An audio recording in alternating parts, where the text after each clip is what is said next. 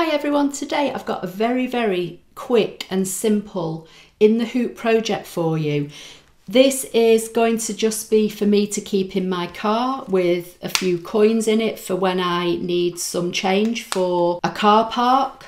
I found this little project on Creative Fabrica. I have had the download file for several weeks by the time you see this video and I can't remember if this is the only size. I, ha I, have a feeling it's in different sizes.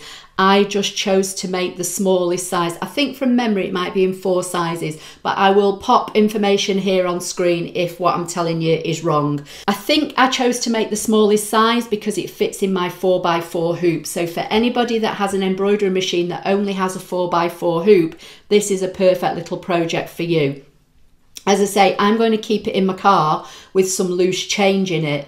I generally just keep it in the drinks well of my car or in a little plastic bag. But I just thought, you know, I'm a crafter, I can make something, and I came across this little project. So, this, as I say, is going to have some coins in it just so when I need some change for the car park. It's made in fabric vinyl. I chose to use two colours and it fastens with a snap tab. It's literally, it takes about a minute to stitch out and there are only four steps. It's so simple. So if you have an embroidery machine and you've not done any in the hoop projects, this little project is going to be perfect for you. I've obviously just stitched this out, so I'm just recording this to show you how it looks now when it's finished. But as I stitch this out, as you'll see in a few minutes, I've never stitched this before, so I've not practiced it, I've not done anything at all. I literally downloaded the file a few weeks ago onto a USB stick.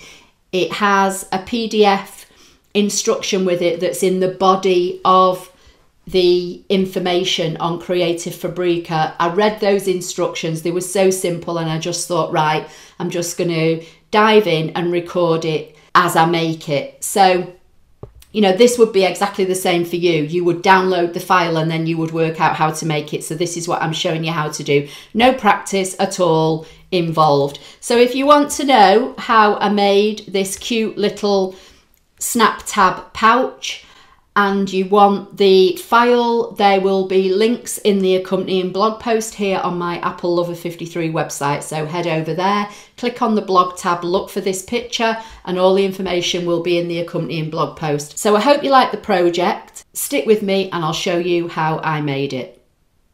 Okay, so to save some time, I've already got the USB stick plugged into the side of my machine. Just for reference, I use a Brother Innovis V5LE, which I think is a similar machine to a machine possibly called the Essence 5200 or just the Brother 5200. I'm only saying that because I've seen somebody use that machine online and it looks more or less identical to mine and seems to have all the same features. So that will just give you an idea of what I'm using. I've got my 4x4 hoop already in the machine and I've got some tearaway stabilizer. This design I've never stitched before. The links to it are going to be on my blog so you can see my website address here on screen if you go there click on the blog tab and look for the photograph of this finished project all the information where I got the stitch file from will be on there, but it is a Creative Fabrica free file as part of my all access membership. I've not stitched it, so literally I'm doing this as you would once you've downloaded the file. So this is completely, you know, from scratch, start to finish, as anybody would once they've got this file. I'm just going to go to embroidery on my machine and I'm going to go to the USB stick and I'm going to find the file. Now, this particular file comes in various sizes. I've chosen to use the one that will fit in my 4x4 hoop. And I think I'm right in saying that because I downloaded this a week or so ago. If it only comes in this one size, I'll just put a note here on the screen. So I've got the 4x4 hoop, I've got the design. I'm just going to turn you, I'm going to press embroidery edit to set that on the screen and it says that the size is 3.57 by 3.20. So basically what I did, I measured the internal measurement from top to bottom and side to side of my 4x4 hoop and I cut two pieces of faux leather or vinyl. This is sewing vinyl, not heat transfer vinyl. One to the size, the internal size of the hoop and one to about half the size okay? All the details will be in the PDF that goes with this cutting file. I would say though, if you're new to Creative Fabrica, when you download an embroidery file, I found from the ones I've downloaded so far, in the file you get all the sewing files, but you don't get written instructions. The written instructions are in the description of the item you're downloading. It usually says something like PDF or view PDF. Click on that, download it, and then I just drag them and put them in the file with all the stitch files so everything stays together. So I'm just zooming in on the area in the hope that you can see better.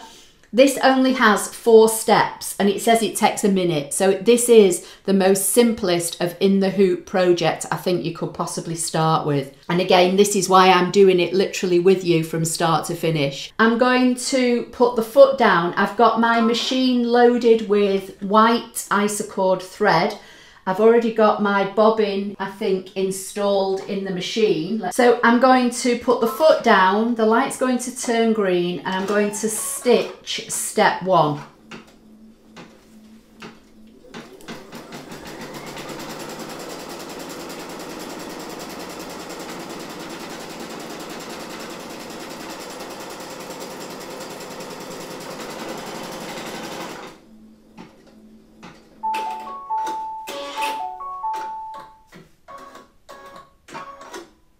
Now you're probably not going to see that because I've stitched it in white on white stabiliser.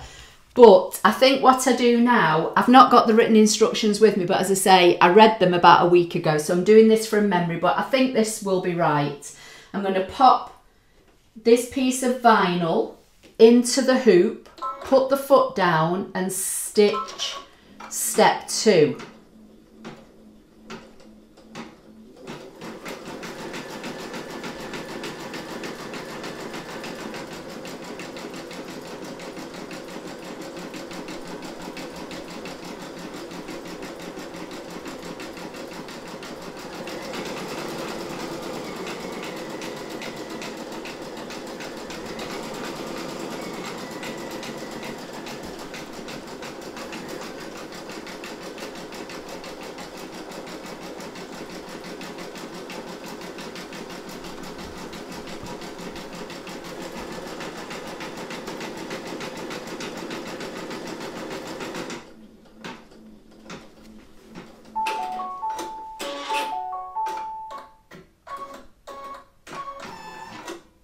Okay, so you can see that better now. It does a kind of like a bean stitch. So now from memory, I think it says you need to stitch the placement marks to put the other piece of vinyl on, which is step three. So I'm going to put the foot down and stitch step three.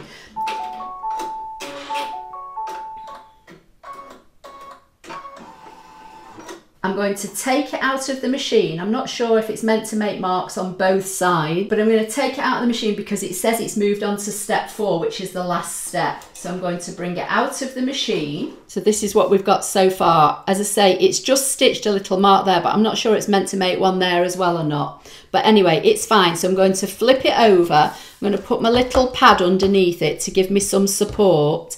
I can see where that line is. So I'm going to get a nice straight edge of my vinyl. Just see which one's the straightest. I think this one is. And I'm going to position that just over where that placement line is. And obviously making sure that it covers the sides and the bottom. And then I'm going to put a piece of tape down just to hold this in place. So I'm just going to put some tape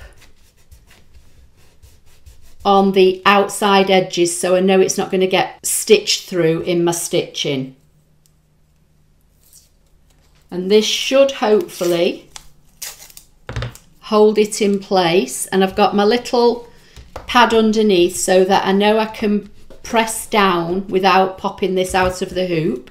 So this now goes back in the hoop and it should stitch the final step. So I'm just checking underneath the hoop to make sure that that vinyl is still in place and it hasn't moved or anything. I'm going to put the foot down and I'm going to stitch the last step.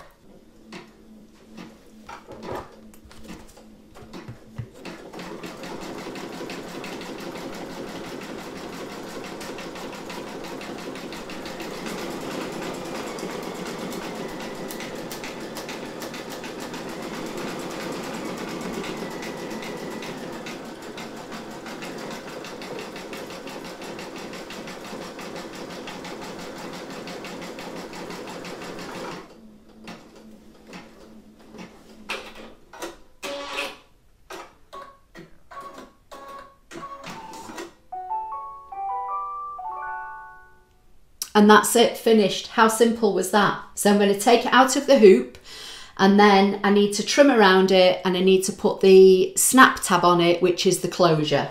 Okay so this is what we've got and this is the back. So i'm going to take the masking tape off.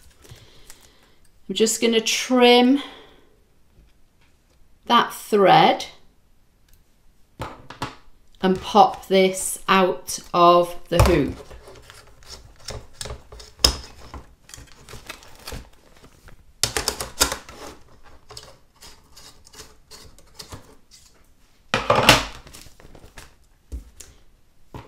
just going to trim up those stitches. And I'm going to pull this tear away out. So that's what we've got. So I'm going to turn it over to the right side I think because I think I can see that better. And I'm going to trim around this now with a rotary cutter and a ruler so I'm going to try and trim quite close. So I'm going to line up, I'm not sure how well you'll see this, but there's a dashed line and a solid line. I'm going to put the dash line on the stitching and then I'm going to trim.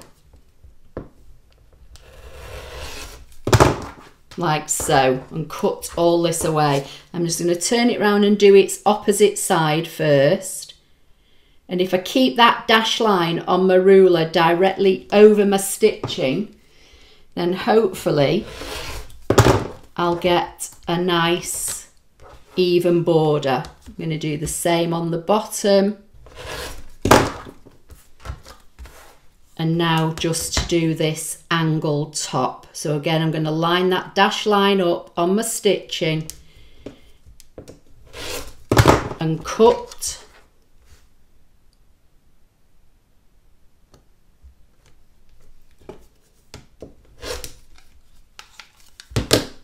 and cut.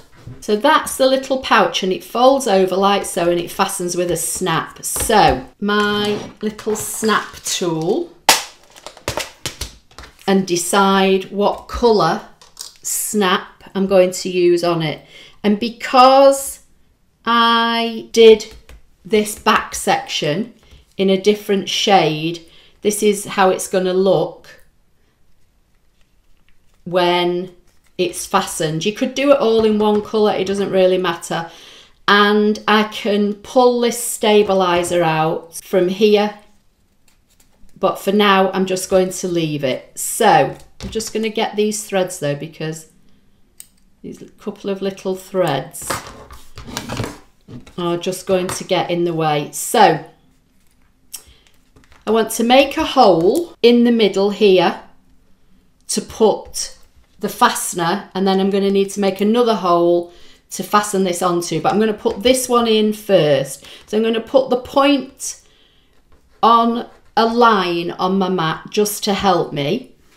And then I'm just going to see what colour I think I'm going to use this green one. I've not used these green ones I don't think. So I want two of the prongs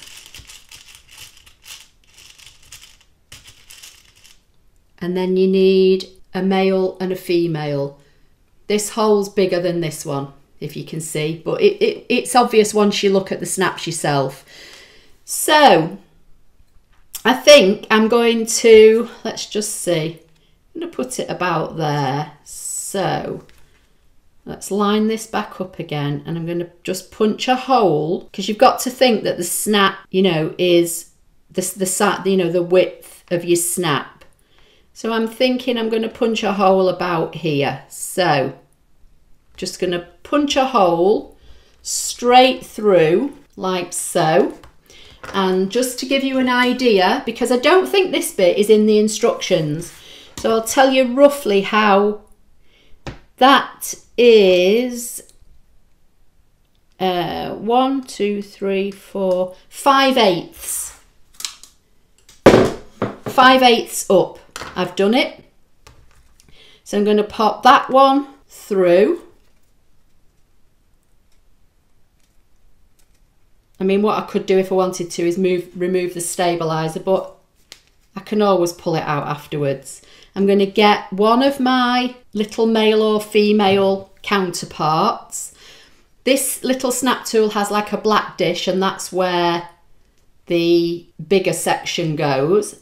And I'm just going to clamp and then I'm going to press and I can see where the indentation is although I could until I moved it so let's just put this in place and press and I can see a circle there and I'm just going to punch a hole through the middle of that circle just through this front section. You don't want to go all the way to the back. Then this prong goes from the inside out like so and then you put the other side on and then again you need to get your little clamp and push it inside so that that inside piece goes into that dish and not disturb the inside.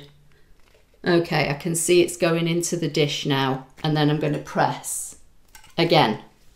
So I've got my two snaps on and it now snaps closed and opens. So let's just, so that's today's project. As I say, if you want to pull this out, let me just, where have I put my scissors? You can get a pair, you know, a pair of scissors and just get in here because it is only tearaway stabilizer that I've used and you can, you know, just pull it out. Just watch your stitches if you want to do that, obviously before you put your snap on, it might be a little bit more sensible. But you can see, you know, it's doable if you put your snap on first. It comes out really easily. So I'm just going to tear this stabiliser out and just tidy this up a little bit. So there it is, all cleaned up, nicely cut at the same distance all the way around. The finished size of this one is three and one eighth by two and a half. So three and one eighth by two and a half. And that's just big enough to keep some loose change in, you know, the little door compartment of my car to keep some money in for a car park. So that's today's project. I hope you liked it. As I say, all the, all the information relating to where you can get the free stitch file will be in the accompanying blog post here on my Apple Lover 53 website. And if you are not a member of Creative Fabrica and you want to see what it's all about or you want to join, there'll also be a link in the blog post as well that is like my kind of affiliate link. So if you think that you will maybe want to join, I would be so grateful if you would just use my affiliate link. So that's it for today. I hope you like the project. As I say, this is a real, real beginner in the hoop project. So if you've got an embroidery machine and you've not tackled in the hoop before, this is a really good one to start with. Please give the video a thumbs up. Don't forget to subscribe and I'll see you in my next video. Thank you.